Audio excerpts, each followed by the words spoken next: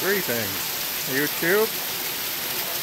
It is I, Bernie, and I'm having a Gispert cigar Gispert in the rain.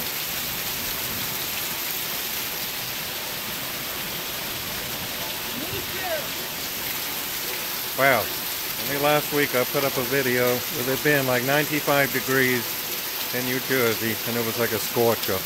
And now look at this. Oh my god.